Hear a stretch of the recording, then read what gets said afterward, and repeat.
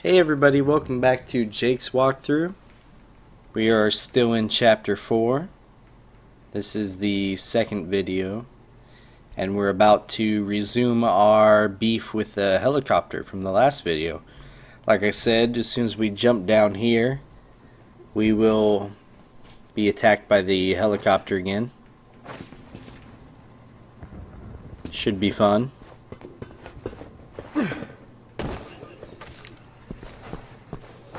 There's some crates here you can break. And uh, we'll get some grasshopper enemies. oh, that's fantastic. Basically give them. Why not? Okay, yeah, once you kill those three grasshopper enemies, it is helicopter time. Uh, interesting note, we're actually being assisted here by Jake and Piers still. Through all this running, I'm taking that chopper out. You just really can't see them or know that they're helping you that Not much. sure. But they're, uh, as I go. They're high above us, helping out. Uh, take that particular ladder up, you'll find these three crates here. Going too well for him, is it? Looks so messed up. Some more grasshopper enemies to kill. Thankfully, these guys only have swords. The real reason to... some more grasshopper enemies.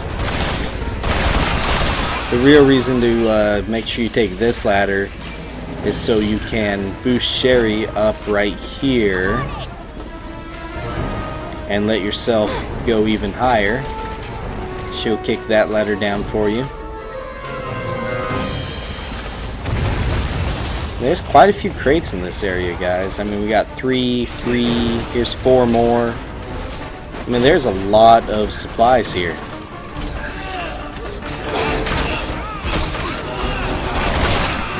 These grasshopper guys can pretty much, you know, get to wherever you're at at will with their jumping ability. Our main goal here is to take down the helicopter. I pretty much walked into that guy. He did nothing. I guess I got lucky. Uh, yeah, we have to shoot down the helicopter. Uh, the weapon you want to do that with is the Bear Commander. As you saw, they had instructions on the screen there. Here's three more crates. There's just a ton of crates here, guys. And uh, we want to get to that ladder over there. And as you can see, pretty much only Jake can reach this ladder. Sherry would just kind of have to fend for herself. But the best way to damage that helicopter is to get the Bear Commander out and shoot explosive rounds at it. I like to fight it up here. It's a good point of view. There it is attacking Chris and Piers.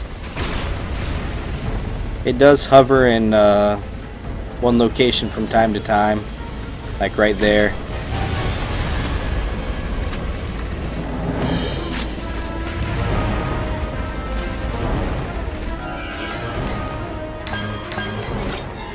Clearing inventory space is very important with all the uh, supply crates in this area.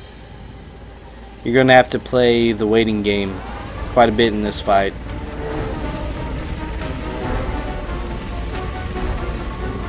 In order to get good shots in, at least.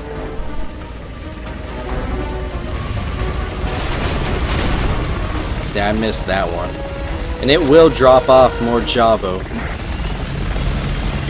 As you can see, the general idea is to climb the rope when you can.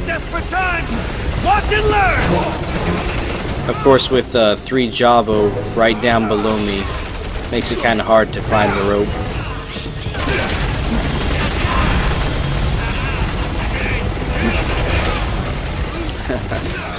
no one can say I'm not persistent.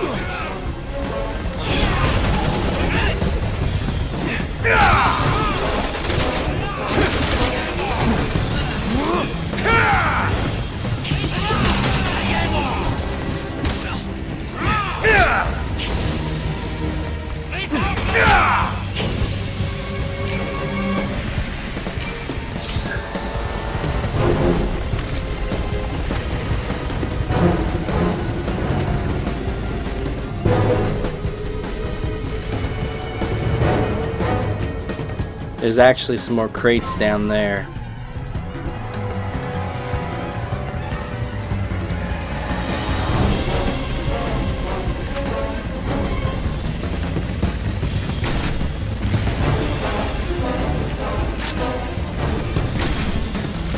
That was a bad shot.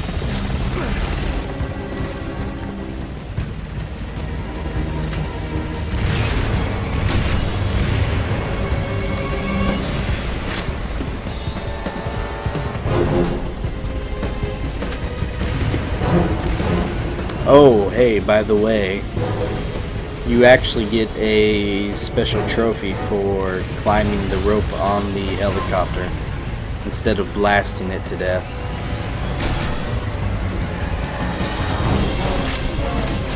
I can't quite remember what it's called. It's like point blank or something. You end up shooting the helicopter pilot.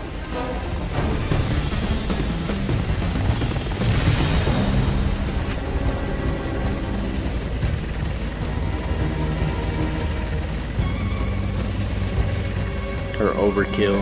I can't quite remember what it is. That was a good shot. I killed some J'avo with that shot. Lets me climb the rope in peace.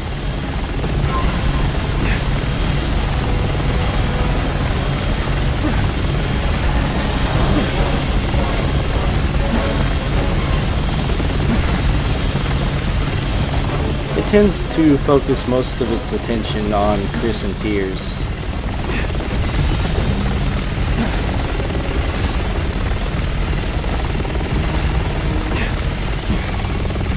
You're going down! Once you get to the top of the helicopter, it's pretty easy. You'll uh, automatically equip your Magnum no matter what. It's pretty easy to point downwards and kill the guy. Very satisfying too. And what's weird is this uh, cutscene, even though you, I mean, we, we both saw you uh, killed that guy, it still makes it appear that Chris did it. Our orders are to avoid contact with anyone. Does he know that Wesker was my father? I don't think so. Why? No reason. They just rubbed him the wrong way.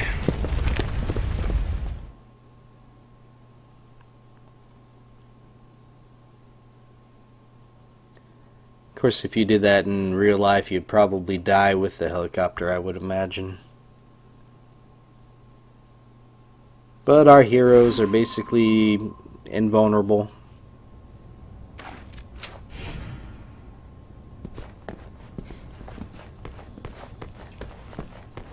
Okay, well, we don't have to worry about the helicopter anymore. Now we're going to... This upcoming section is basically us going through the streets of China.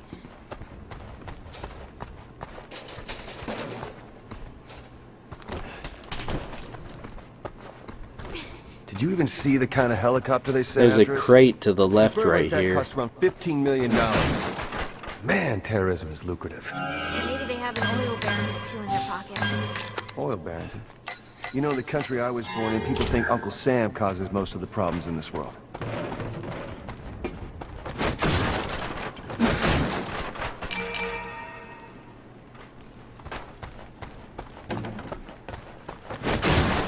A lot of crates.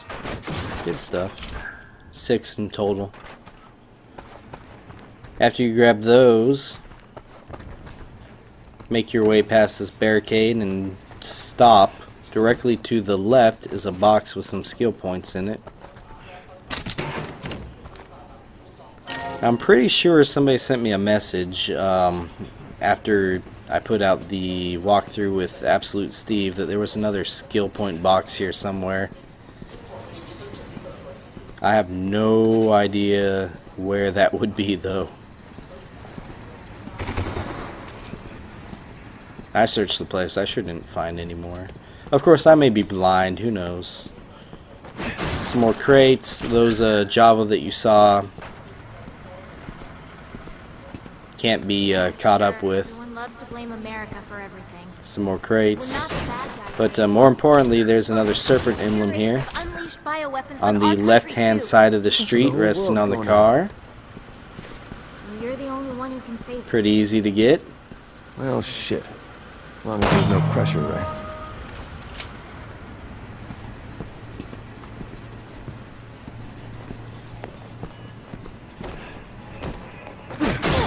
Some more crates.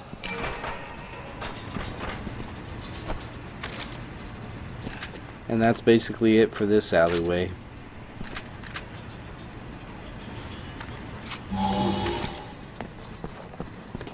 We're going to do some fighting coming up here, so be sure you're ready for it. Reload, get your health up, whatever you gotta do.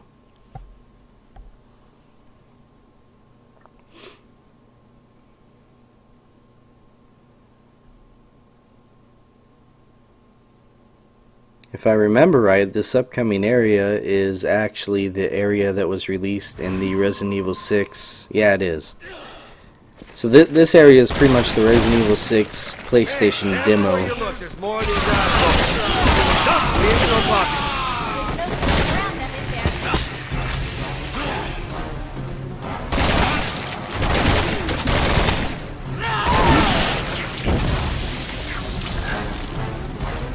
So if you've played that, you should be pretty familiar with this area. There's a green herb right there every time.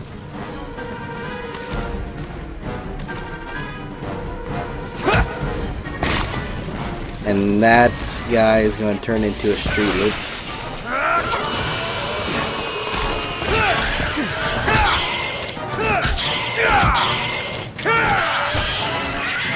See, if you melee them, you actually get this special, uh, this special move you can do to them, which I failed the button prompts on, but it's pretty cool.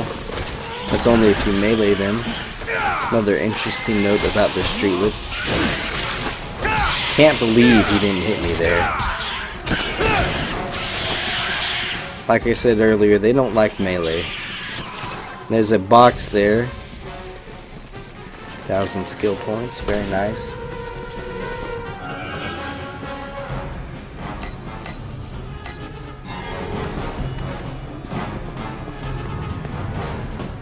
Never did grab that herb, did I? Huh. I only just now noticed that. Maybe I didn't have enough room and wanted to use that flash grenade. I'm gonna assume that's my reasoning here. I'll bet I go back and get it.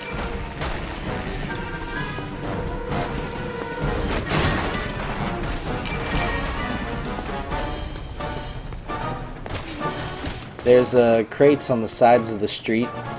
Two on the left side, and you got this one on the right side. Ah, okay, I remember it. Cool.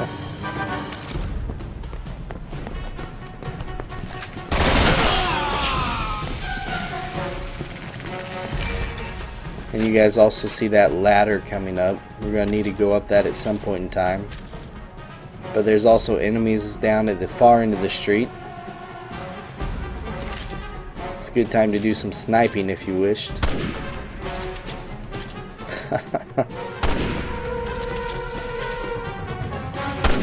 or a good chance to help the enemy by giving him a mutation.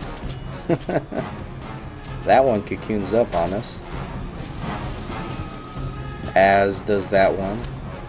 I think there's at least one more down there. And there's a couple boxes right here, as well as some NATO ammo on the box there. Yeah, see there's one more. Guarding a couple more boxes.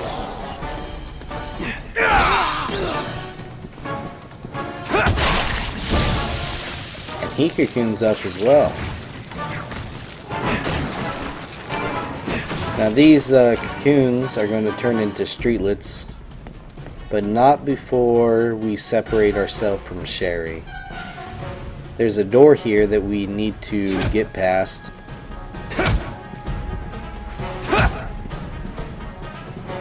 This one right here. It's bolted shut? Ah, fuck me. Come on, we gotta figure out a way to get this thing open. To get the thing open, as Jake so eloquently puts, uh, you need to climb this ladder here, two sets of ladders, and you'll reach a bar at the top which only Jake can pass. So Sherry is pretty much on her own for right now. And of course, once you uh, jump over here, you can look to the left and drop down. Once you do that, the Strelats will emerge, as you can hear. Sherry, it's open.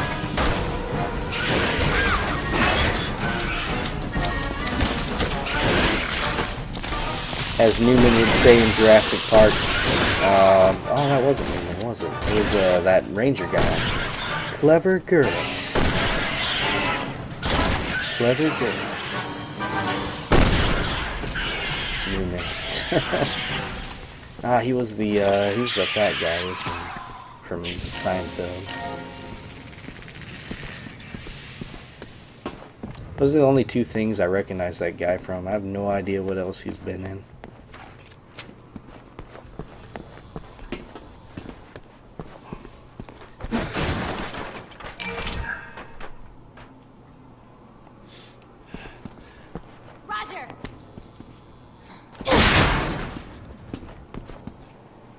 This area has no enemies in it at the beginning, but they're coming. Kinda wish I had a flash grenade, and if you had Sounds like one, I would recommend getting it out. Once you go to the end of this area, a whole ton of J'avo will emerge from the door, as you see. I try to be clever and uh, put down a remote grenade. Not a bad idea, I just kind of wish that they would have grouped up a little more.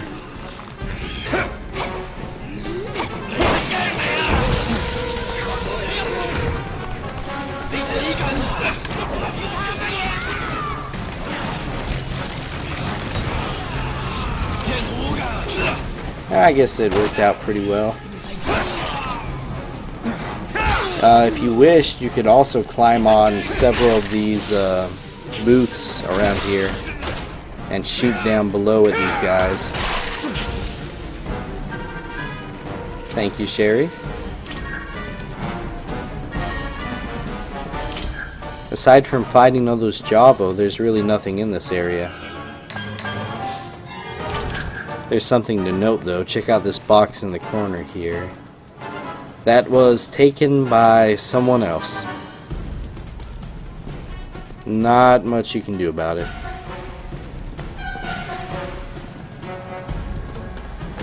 So once you kill them all, go ahead and open up the door here. Sometimes I'm getting a flash grade grenade out there because sometimes uh, a couple more will drop down from the corner here especially when the music is still playing, the combat music, like you're hearing. But I didn't find any more. Okay. Anyways, we're approaching my 20 minute mark, so I'm going to wrap this video up soon. Be sure to grab those two crates and head up uh, two flights of stairs more. And keep your eyes peeled on the left for another skill point box. Very handy. Is it 2,000? Oh, 4,000. Not bad. And at the top, of course, you see the weapon icon. Time for a new weapon. This time, we will get a shotgun. Very handy. Sweet. Okay, ladies and gents, uh, that's it for this video. I appreciate you guys hanging out with me as always, and I hope you'll come watch the next video. And I'll see you then. Okay, take care, everybody.